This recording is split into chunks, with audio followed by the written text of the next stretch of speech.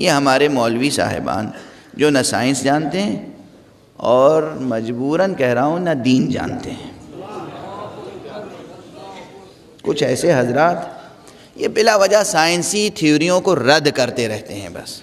जो किसी साइंसदान ने कहा, कहा वो गलत कहते हैं हम जो कहते हैं सही कहते हैं। अरे आप खुद कुरान समझ सके हैं पूरा?